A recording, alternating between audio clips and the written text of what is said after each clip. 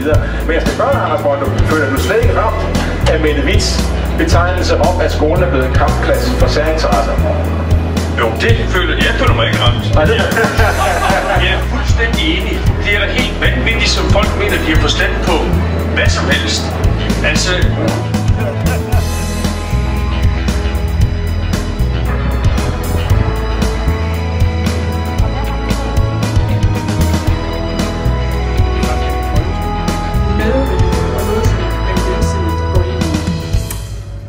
tak til dig, Bjerg. Tak for det. Giv en endelig hånd.